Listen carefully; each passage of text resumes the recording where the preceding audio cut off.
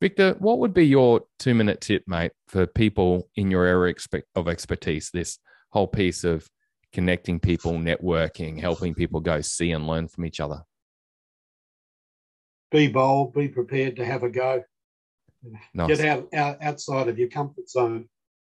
Go to a conference, go to an event, introduce yourself to people, find out what's going on. So that that's probably my tip. Yeah, nice. So there's always someone out there doing interesting things, believe it or not.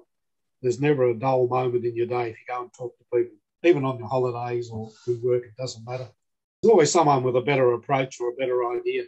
But you've got to go and seek it. It just doesn't happen by itself. And nine times out of 10 people are really willing to talk and share about what they're doing. Mm. So that's what I find. Even someone like yourself, I think you're doing a fantastic job with all this. oh, thanks, Victor. Yeah. Really appreciate yeah, it. Mate. That's a serious uh, comment. Yeah. Well, so I've I'm, learned from I've learned from the best, mate.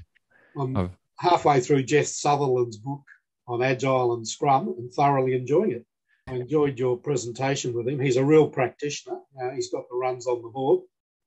So again, it's it's a learning opportunity of just finding out what else is happening in the world. Yeah, I like Jeff too, Victor, because he's, you know, the stuff that he's done is insane, but he does not tell people to just take what he does and apply it. He says, create your own way.